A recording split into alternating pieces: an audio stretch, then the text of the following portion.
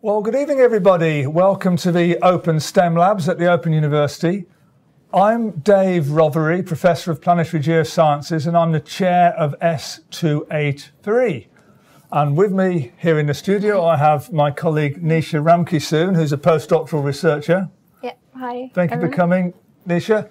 And live from Sapporo, Japan, my S282 colleague, Helen Fraser.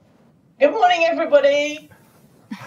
Uh, we'll be hearing a lot from Helen in a, in a little while. The main purpose of this evening is to hear from you and answer questions. We've had some questions in advance, which we're going to answer. Please feel free to ask questions in the chat because I'll be keeping an eye on that.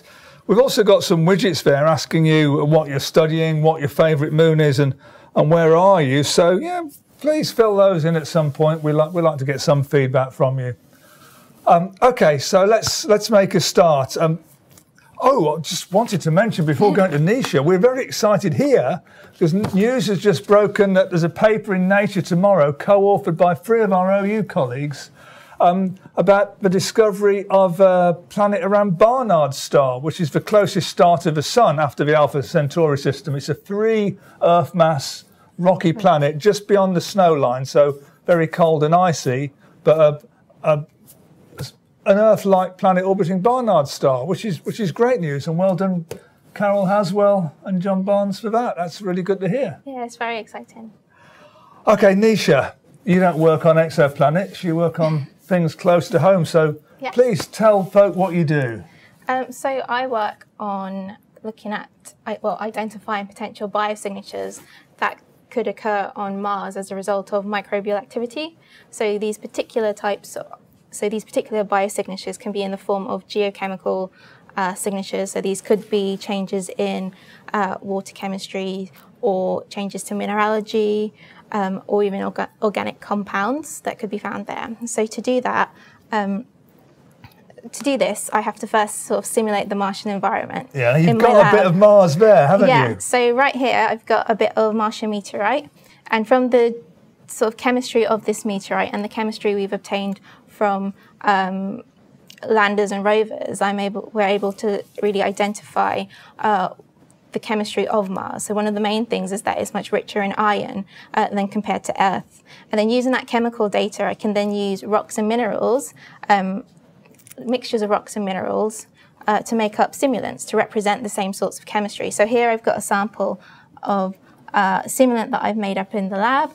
So we've got a mixture of olivines, uh, feldspars, and there's also an iron silicate glass in there, which is rich in iron. So the feldspars are the white bits, and yeah. the black stuff is the olivines and the, the iron, iron silicate. Yeah, silicate glass. glass. Okay, yeah. To increase. And so what do you do with that to see if it can support life? So using that, I then um, sort of use computer models to determine sort of water fluid that will the water chemistry, sorry, that would occur as a result of interactions with this. And yeah. that sort of makes up our chemical environment. And then I can put that essentially into an experiment. So here we've got essentially Mars in a bottle. So we've got our silicate material, um, a fluid that was derived from the uh, interaction with this simulant. And then the headspace, which is sort of the gas at the top, um, is a Martian gas. So it's just predominantly CO2 ice. And that's at CO2. Mars atmospheric pressure, is it? Like seven millibars or something? No, not, not this one. Okay. so this is just that sort of ambient conditions. Okay. Um, but we can simulate the Martian subsurface by putting it into a pressure device um, where we can uh, control the pressures and temperatures that you could find in the subsurface. Um, so to identify any biosignatures, we have to run this experiment twice. So we run one as a control with no microbes in them, which is this first bottle here. And then the second bottle is our biotic experiment. And as you can see, um, it's a lot darker when compared to the control, our abiotic. And this is because this has microbial, a microbial community in there. So that dark stained water is stained by the microbes? Yeah, it's okay. a result of their interaction with that environment. Right. Um, so then we can look for our biosignatures um, by analysing the silicate material and the water fluid um, once we end the experiment. Um, and we use different techniques such as a scanning electron microscope to look for morphological changes or mineralogical changes through uh, Raman spectroscopy. Okay. And, and, we have a Mars lander, a European Mars lander that's going to land on Mars, ExoMars rover in what, 2020. 20. Is that the launch or the So the launch will be in 2020 and it will actually land, I think it's July Okay, and you 2021. can show us where it's going it on this globe, be- can't you? yeah, so it should be right here. So that is in um, Oxia Planum. Okay. Yeah, so that's a clay-rich area, um, and it's it's clay-rich because we think it's been interacting with lots of water in the in its past. So it's a potential area for uh, any sort of life to have occurred, and hopefully, well, not hopefully, but we could potentially find some of these biosignatures um, in that area. Okay, thank you. And before we move on to Helen, there's a NASA lander, InSight, which is landing within the next 10 days or so on the other side of the globe, yeah. isn't it? So if we move the globe around, it's actually landing right here in uh, Elysium. Sorry. So this is, is a right this here. is a lander which isn't looking for life. It's got seismometers, a seismometer on board Yeah. to look at the Mars quakes and to tell us the core size of Mars. Hopefully, Yeah, so it'll provide us with information on the internal structure, but it's also got um, a sort of a thermal probe that will go deep inside, that will go about 16 feet inside um, the planet to look at heat flow, so heat Yeah. moving out. Heat flow is pretty important on planets, terrestrial planets. We've got Yeah. very few data on these, so that's an exciting mission as well. There's a lot of British involvement in InSight as well. Yeah, isn't there are. So I think, yeah. There are. Okay, thanks, thanks, Nisha. Helen, how is Japan? Tell us why you're in Japan and, and what you're all about, please. All right, so um, a few of you might know me because I chair S282, which is the sister course to S283, which is in astronomy. And um, when I'm not doing that, I am an astronomer and I'm interested in how stars and planets form. That's my research in a nutshell. So I've been invited out here to Japan to work with colleagues um, in a workshop which started yesterday. Um, I gave my lecture yesterday. Well, today for you, but yesterday for me. It's Thursday morning. I'm speaking to you from the future. Um, and I'm here for until um, Saturday, um, working together with people from around the world. And we're interested in understanding the chemistry of the interstellar medium. So, the interstellar medium is the stuff between the stars, it's the stuff that stars are made from. And uh, a little bit like Nisha, I'm a chemist uh, and a physicist and an astronomer all at the same time. But we are interested in all these sort of elements and the molecules and everything that's there right at the beginning of star formation that sort of sets the tone for what kind of chemistry um, is possible as we start forming stars and then forming planets. So, if you like, um, I'm interested in the steps before where Nisha is, but actually, um, what the ingredients are that we can make these things from. Um, a little slide which uh, can just illustrate to people um, the workshop that I'm at. So, there are around um, uh, 10 invited speakers from around the world, which I'm one of, and this is the, the conference that I'm at. So, if you really want to see where I'm at and it, what's happening and all the science that's going on, this is the workshop on interstellar matter. So, uh, luckily, it's in English because my Japanese is uh, non existent, although I love eating Japanese food. And uh, I must admit to uh, partaking of drinking some sake this week uh, just to enjoy it. Um, and here in Sapporo, some of you may remember the, the uh, Winter Olympics were held here a few years ago. And last time I came, there was six feet of snow. And this year, um, through the joys of global warming, the snows are late. So still, actually, it's it's it's quite warm. Quite warm, meaning a few degrees above zero. Um, but luckily, not too cold. This is a, slide sort of indicating to people what what we do in astrochemistry. Um, we're interested in, in understanding astronomy and we're interested in linking that back to fundamental chemical and physical processes. So, a lot of people listening um, probably studied S111 or S112 in their first year and uh, learned some chemistry or some physics. And really, we take those kinds of things all the way up to sort of degree level and beyond, you know, research level chemistry and physics, and apply them in both lab experiments and theoretical calculations to the unique environment of space.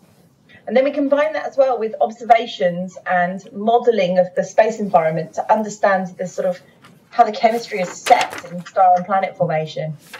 And so in my group, the things I've been talking about with everybody while I've been here, but in this bottom left hand corner down here, um, I, I, talk about an instrument called Nimrod, which actually is in the UK. It's at the Rutherford Appleton Labs.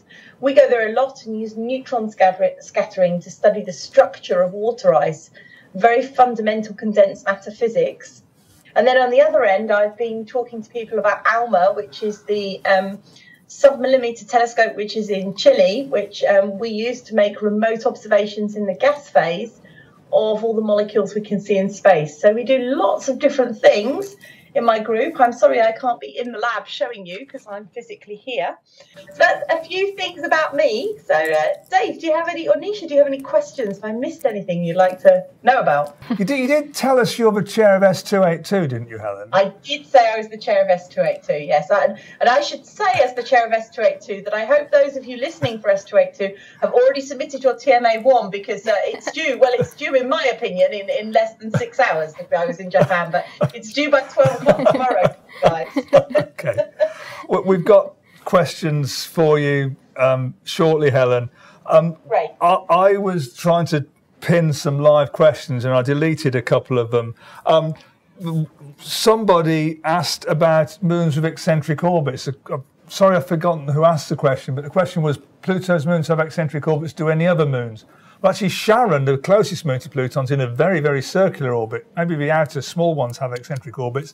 But to answer the question, yes, the outer moons of Jupiter, Saturn, Uranus, and Neptune are all in uh, quite eccentric orbits. And some are, some are in very eccentric orbits. Sycorax and the Setebos moons of Uranus go a long way out. So eccentric orbits uh, for the outer small moons of the giant planets are the rule rather than the exception, really. It's only the regular satellites close in that have pretty circular orbits. So I think I've just answered that one quite quickly. Helen's, Helen's nodding. Let me turn to a question that we received earlier. This is from an S282 student, Peter Norman. Um, he says there's much debate about the origin of water on the Earth, comets, asteroids, planetary embryos, the solar nebula. But do we know when water appeared in abundance and does this help us establish its source? I seem to remember that life appeared quite soon after the late heavy bombardment. Does this suggest that liquid water accumulated over a relatively short period of time early in Earth's history? If so, what are the sources and mechanisms? Um, what do we know about where and when the Earth got its water? Who wants to kick this one off? Um, Helen. Well, yeah, I, am quite happy to talk a little moment. I, I, actually think this is quite an interesting question, isn't it? Because uh, Peter was it that asked the question. So, Peter, there's an interesting question about when the Earth got its water, but there's also an interesting question if the water was delivered to the Earth, where did that water come from? And funnily enough, I'm going to be a bit cheeky and start with the second bit of that question first, because all day yesterday in our workshop, there were 100 scientists, eminent scientists in our field, debating exactly that problem for almost the whole day. And what's very interesting about water is um, water can only be formed in interstellar space um, in surface reactions. So in the gas phase, there isn't enough energy for the hydrogen and oxygen to interact and for the excess energy from the chemical reaction to be carried away. So it's a surface process. So the initial thing we form is is water ice, and and water ice in space is mostly amorphous, and it's in formed in very cold regions. And then we can look at the gas phase, and we can see some of the water in the gas phase, and particularly understanding this interplay between ice and water um, in disks, in protoplanetary disks where planets are forming, is actually a really difficult question, really difficult to understand. But if we assume there's some water there.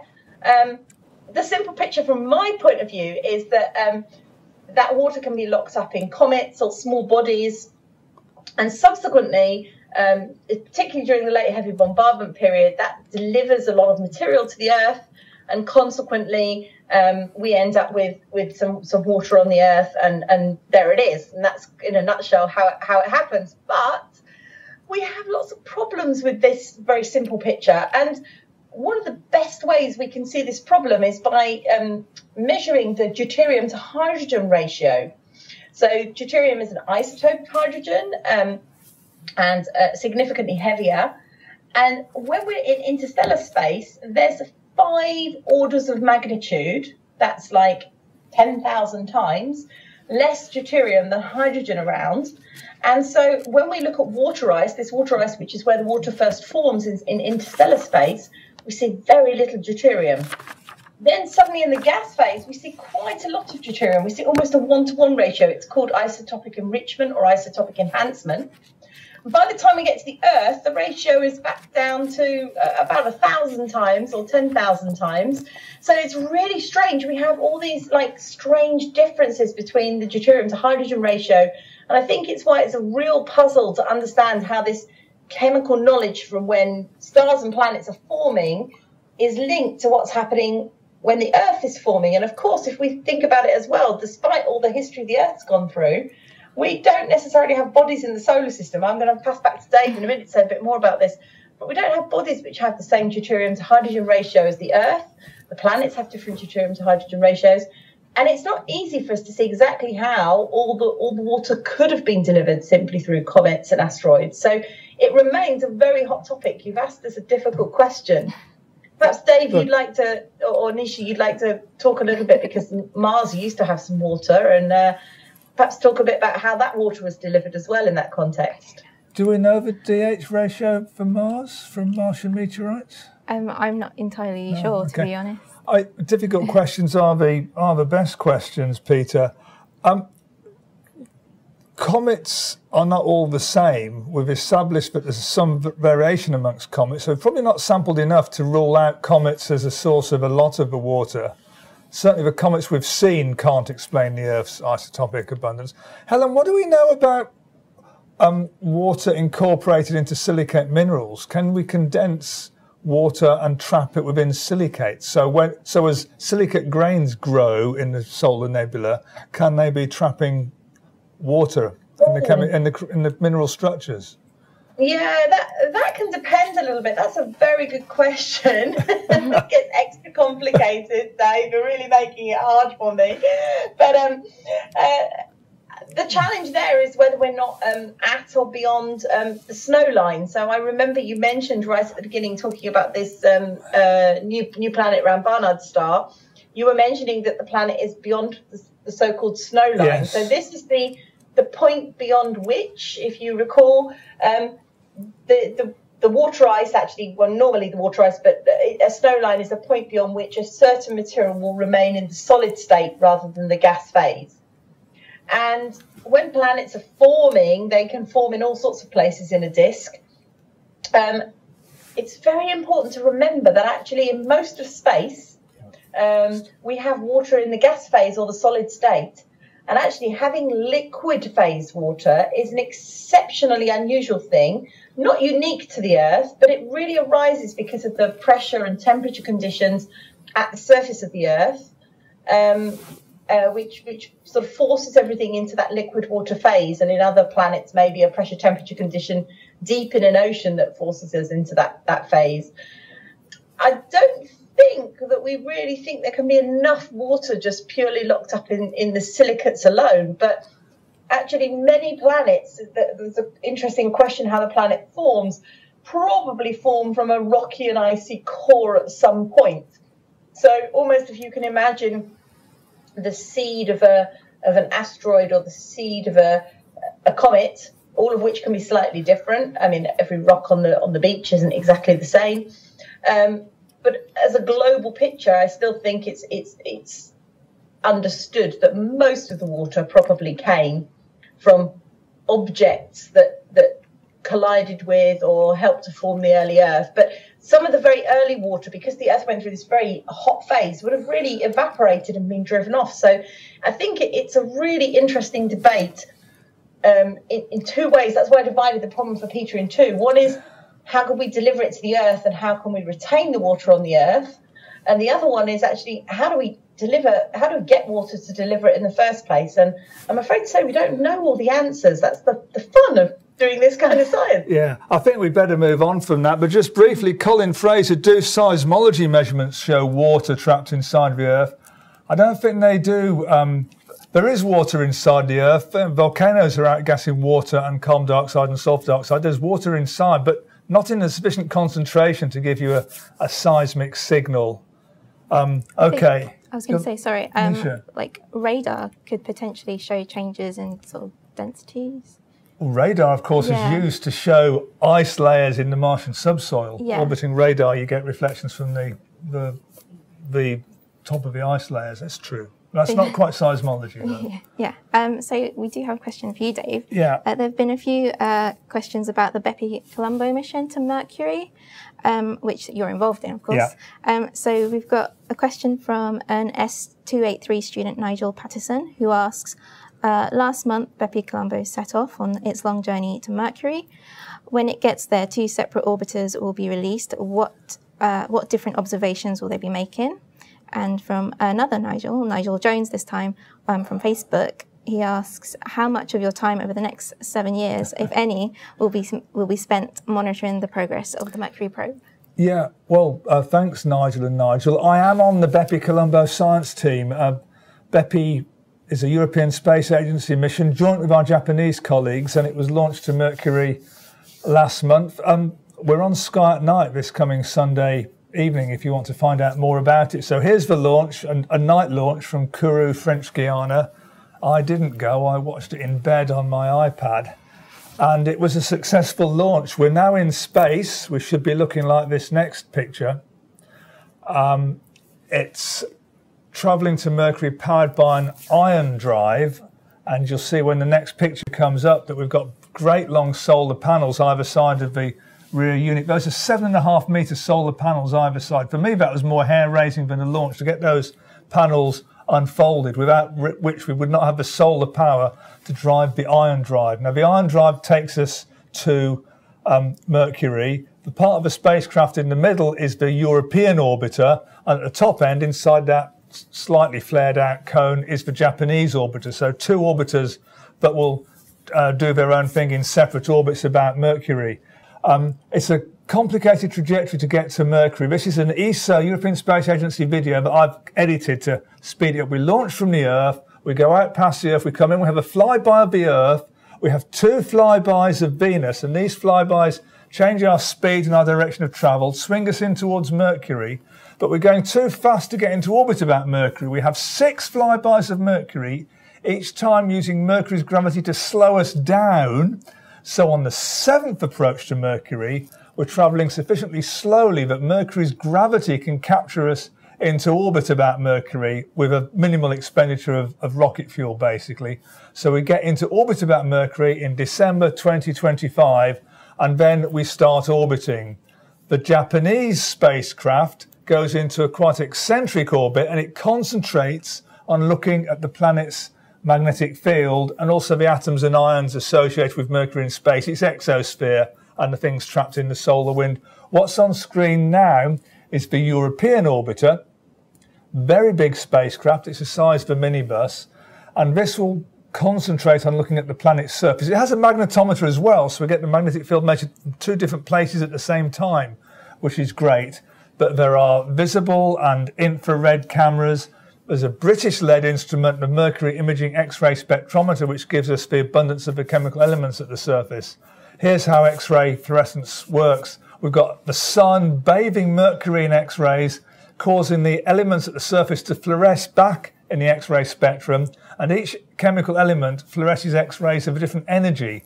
So you just collect the X ray photons, separate them out by energy, and that tells you how much of each chemical element you have on Mercury's surface or you can work that out if you compare it with the direct X-rays coming from the sun.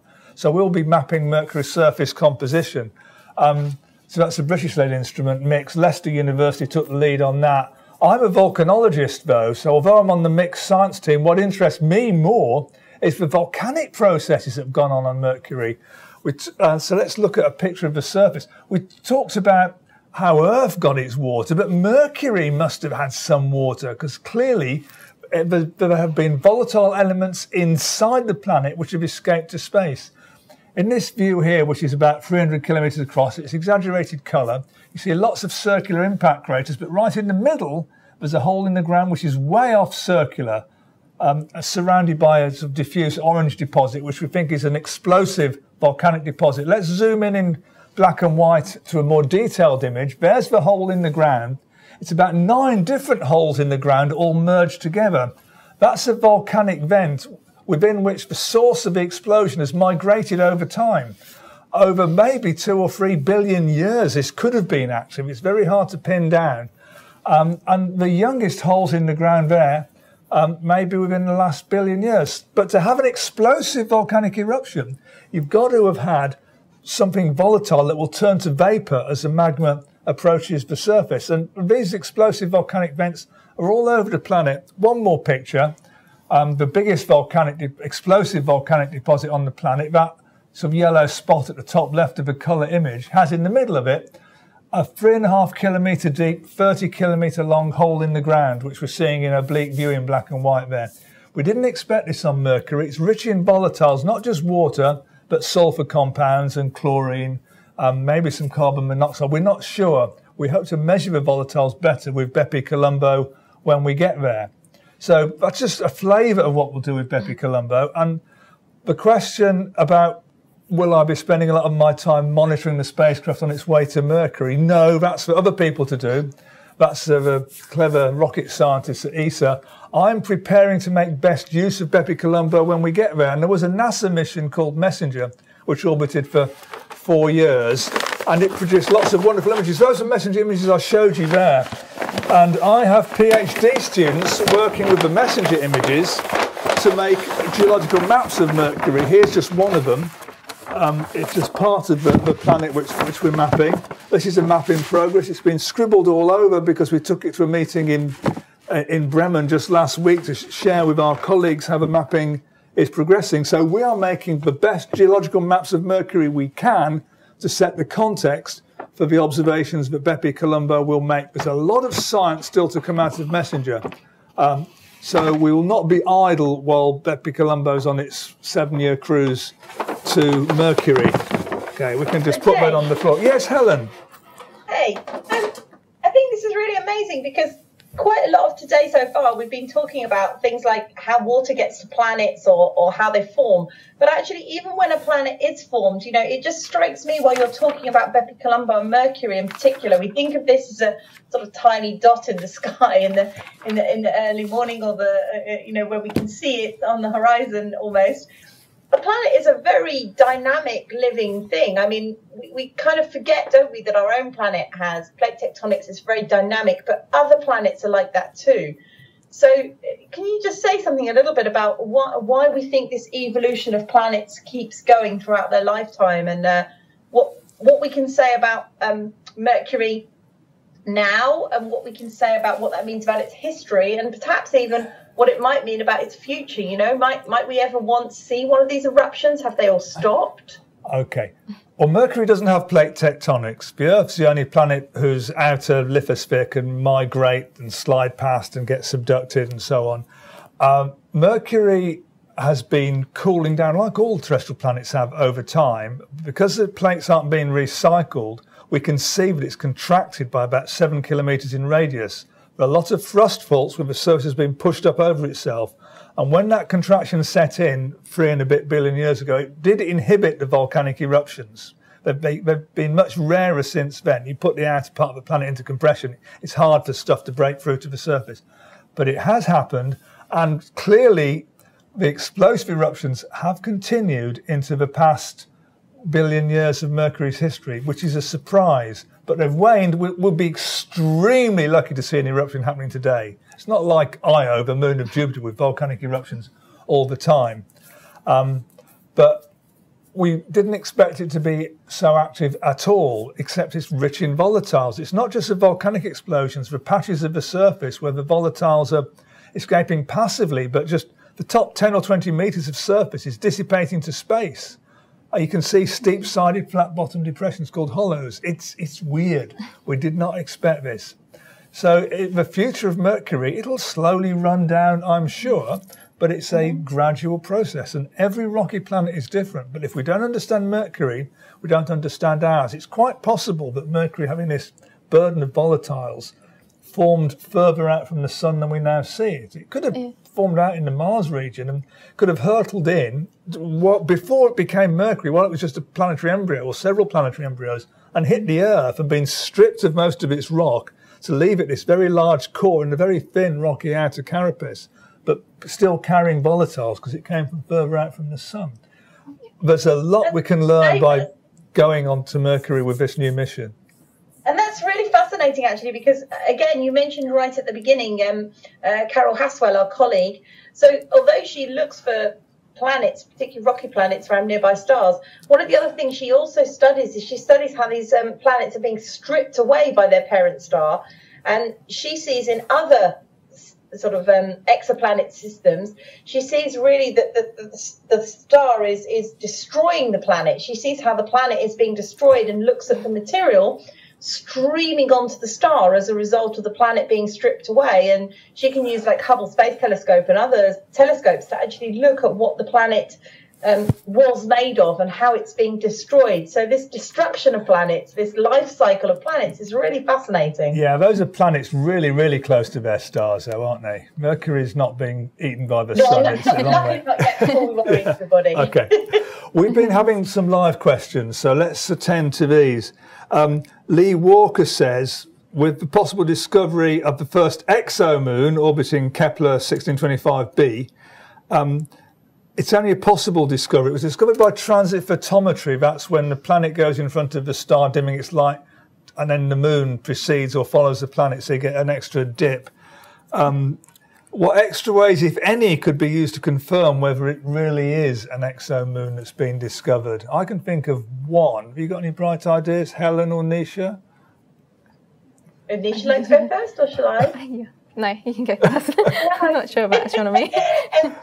Well, so, so it's very interesting. I know quite a few people who are interested in searching for exomoons, and the people I know who are doing it um, are very are looking really looking forward to us getting the um, the classes of um, extremely large telescopes. So these will be visible and infrared telescopes based on the ground, which will have um, like 30 meter dishes or so. Uh, these are dishes made up of many segments and these will be used together with coronagraphs and uh, um, various different um, uh, eclipsing properties to have a look at the differences between um, planets and exoplanets. At the moment, direct imaging of even an exoplanet is difficult, if not almost impossible. Some reports have been there of direct imaging. Usually, we detect exoplanets, as you learn in S283, by more indirect methods, and we have to use those similar kinds of methods to look for moons. And actually, it's kind of interesting because there's quite a lot of debate. Um, that the paper, I remember when the paper came out, there is a lot of debate about whether we're only seeing moons or whether we're seeing debris disks or whether we can see rings and yeah. exocomets this way. But uh, I think we expect that, that most places where there are planets should have a lot of material which is similar to our own solar system. And in many ways, for those of us who are interested in origins of life, um, in the same way as the moons of our solar system are good potential places for, for life to exist, um, exomoons may also be more appropriate because they ha- might have more um, kindly conditions for for Earth, uh, for, for, what this type of life we know on Earth to survive in other places. So uh, I think uh, it's a very interesting prospect. But uh, direct imaging of exomoons might take a bit of time. We might have a prospect of doing it with a with an exoplanet with these ELTs, but certainly with the coronagraph uh, methods, they're going to try and look for these exomoons as well. Uh, yeah, I, I, was going to throw in the idea that transit timing is important, not just seeing the two dips, but even if you don't see a second dip caused by the moon, a, a moon going around a planet, they'll both cause a wobble in each other. So if the planet has been pulled back by the moon, the transit will be late. If it's been pulled forward by the moon, the transit will be early. So you look for mm. variations in the transit timing as well. It's a difficult signal to untangle, though. Um, Very. Yeah. Uh, oh, Ian Campbell's asking any thoughts on the recent theory that moon moons might be possible. Can moons have moons? It's difficult because there's a concept of a Hill sphere, the region of space dominated by one body if you put an object orbiting our moon, it will be in an unstable orbit, which will decay because the Earth's gravity and the sun's gravity will not allow the moon to hang on to something. So, moon moons, I think, are going to be pretty rare. Anybody, anything to add to that one? No, will Okay. Yeah. Okay. Um, let's go on to one of these earlier um, questions. David Blythe, an S282 student, for Helen, really. Many years ago, I seem to remember there was a question concerning missing glue required for bodybuilding. It means growing planets, not uh, uh, working out. I.e., if electrostatic forces held dust particles together and gravity much larger, larger bodies, what held the middling sized things together? Is it all down to fluffy snowballs? This is right up your street, isn't it, Helen? You, you right play with growing pl- planets from fluff. So this is um this is a little slide about um, how planets form. Um, planets form in if we look at this little video that's playing down the bottom in protoplanetary disks, and these are you know swirling um, regions of gas and dust which are around newly forming stars. And as this little um, image shows, there's sort of aggregation of material that forms forms a planet. And actually, um, in astronomy, we, we often um, think about this aggregation process as smaller things collecting and making bigger things. And this works quite well, apart from the fact uh, this very simple picture is made much more complicated if you look at this picture at the top here.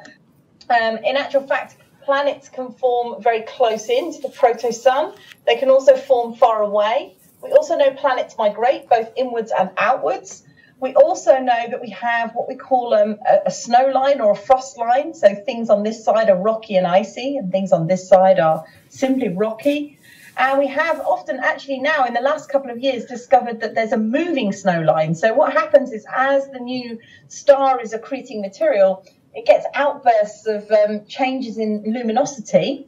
And what's quite exciting with, with that is that it means that there's a, a complete change in the um, rock ice ratio in this region around the snow line. So we do know that um, uh, when things try and collide, they don't very very easily stick. So the interesting thing is the relative velocities of particles at the very first stages of planet building is actually incredibly slow, just a few centimeters per second. Now, that might be a strange number, you don't really know, but a few centimeters per second, if you were swimming a length of a 25 meter pool at one centimeters per second, it would take you about 42 to 45 minutes to swim one length. And uh, I think most of you will agree that even if you swim exceptionally slowly, that's quite a hard thing to achieve. So this is very slow moving stuff. And uh, actually, what happens most of the time is the particles bounce and they and they don't stick at all. And so most astronomers and modelers said, well, it's fine if we make the particles icy, we'll we'll make them stick and bounce, and uh, sorry, stick and and and uh, and not bounce. And if I come back to this picture and I share my screen again, let's. Uh, if I uh, just uh, try and um, play these two little videos down here. So this is data. is a wonderful question because it's exactly um, um, the problem. So actually what happens when we stick things together and to build planets in uh, very low sizes, below millimeter sizes, actually what happens is the Van der, Waals, Van der Waals forces dominate. We stick things together. And at very large sizes, like kilometer sizes, gravity works. And in the middle, which is actually called our bouncing barrier, things rarely stick. Things mostly bounce or fragment. So this is a little experiment which is showing what happens um, if we try and collide some icy particles at 1g on this side and at 0g on the on the other side um, with a target. And you can see the 1g particles actually, when they're moving very slowly, we can hardly even um, see them hit the target. The, the Earth's gravitational field just sediments the particles before we see anything. But rather sadly, you can also see that when we collide icy particles with an icy target in, in, in microgravity in zero G um, to simulate what's happening in a protoplanetary disk, they don't stick either. So we have a real problem with how we understand how uh, how uh, planets actually form. So actually, it's a fantastic question. And what we actually think is happening is there's lots of complicated physics going on. We have to combine um, we have to combine what's called streaming instabilities with collision physics. And in actual fact, it's not a simple thing like we can just make icy particles, they'll collide and grow.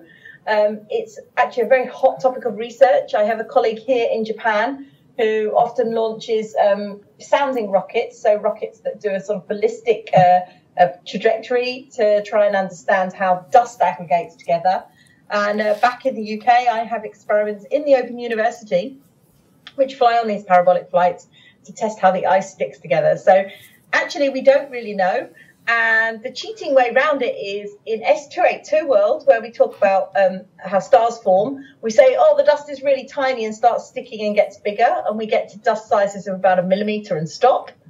And in S283 world, um, it reflects exactly what happens in the research world. We start with sort of things that are meter or kilometer sized, which can stick together with gravity and make everything bigger.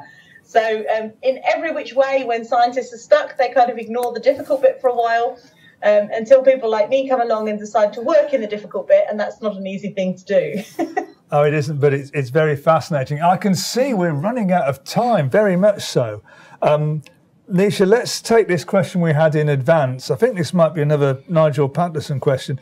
Mars is the best candidate for a human visit. There's never been an attempt to recover any spacecraft from Mars. Are there any particular problems involved in landing a module on Mars and returning it at a later date? Um, yeah, so this is a really interesting uh, question to be asking right now because at the moment, uh, ESA and NASA are working together to sort of do just that.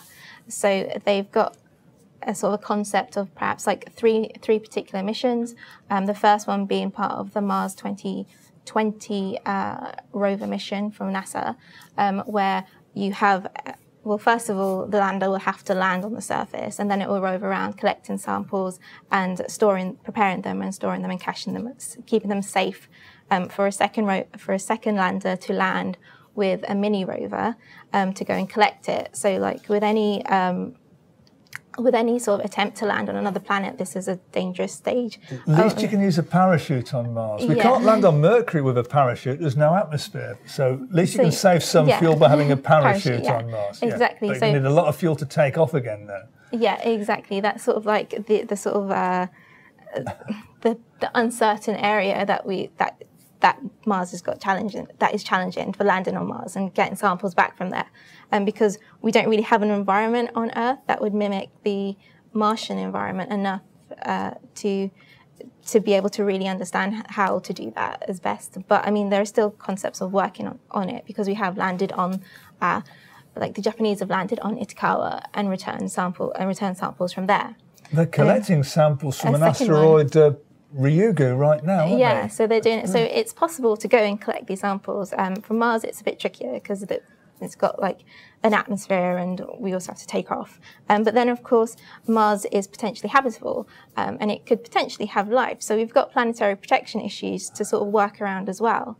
Um, so, so, when we get these samples, we need to get them back to Earth safely, um, and then we need to figure out how exactly we're going to keep them to stop any contamination of the samples and of Earth from Martian materials. So all these sort of um, things are being discussed currently uh, today now in sort of different types of working groups. Yeah, and you can read about planet, oh, you can read about planetary protection protocols in the second S283 book, but nobody stops bits of Mars falling on Earth or being knocked off Mars by meteorite impact. So exactly. we're probably infected by Martian bugs already. Helen, you wanted to come in, didn't you? Yeah, I was going to ask Nisha a quick question actually. Um, Nisha, I heard so. I agree with you that actually the reason we have robotic missions and non-manned missions is really it's it's a lot safer and uh, it's possible to do. But I heard, you know, the, the, question was mentioning about manned missions, but I once heard um, that actually, although maybe we could get there, maybe we could get back, maybe we could get around some of the other challenges, one of the biggest challenges is actually the um, the likelihood of um, radiation exposure for the astronauts and their uh, propensity afterwards to uh, to develop um, cancers or, or secondary diseases is something we really have to address before we go to Mars. Do you know anything about that? Can you can you comment at all? Um, well, you're completely right. There are certain conditions on Mars that we're not entirely sure about yet, and we haven't monitored it for long enough. Um, but the Mars 2020 rover, um, NASA's Mars 2020 rover, I should say, um, will also be equipped with environmental sensors to do exactly that, to monitor things like sort of temperature, pressure, uh, wind speed, humidity, uh, the amount of radiation coming to the surface. Um, and also, um, it will have, so oxygen will also be a major issue um, for humans on Mars. Um, so they've actually got a small experiment um, that looks at converting CO2 into usable uh, oxygen for use as a propellant or for um, astronauts to to uh, breathe. And so yeah. Wow, thanks, Nisha. Yeah, I think thank you both. I think we have to um, halt there. I'm just looking at the, the widgets because we've gone over time you're pretty much evenly split between studying S282, S283, and both of them, and quite a few doing the Open Learn uh, module, which may uh, or an Open Learn module, which may be the the Moons MOOC on the on Open Learn, and a quarter of you are, are not studying anything. So you're all very welcome. Thank you for joining in. We will have another Planets and Moons chat in Mar uh, in March, and your favourite moon, uh, the Moon One, uh, and Europa narrowly beat Enceladus into into second Oh. place. And uh, just, I was just looking out my window to see if it was daylight yet on uh, on on this side of the planet, but I'm afraid it isn't. okay, I can't even prove that I'm sitting in a hotel room in Japan. Well, I suppose I could if I um if I pick something up like a like my Wi-Fi instructions, because at least then they look Japanese, We- so that everybody knows I'm really here. we here. believe you, Helen. It was really good of you to get up at a ridiculous time in the morning in Japan. Thank you for All right, that. Good morning. Yeah. It's, it's five o'clock now. We're okay. Nisha, thank you for coming in as well. Um, Kate and Ben in the back, thank you for making this possible. So, uh, with that, Thanks to all the people who've joined us. It's fantastic to have such a great audience, and uh, also those of you who watch later. I think it's really brilliant that you take time to do this. And don't forget handing your TMA one tomorrow. and thank you for the questions. It's really worthwhile when we get questions coming in. So, uh, with that, uh, good night, everybody. Thank you. Good night. Good night.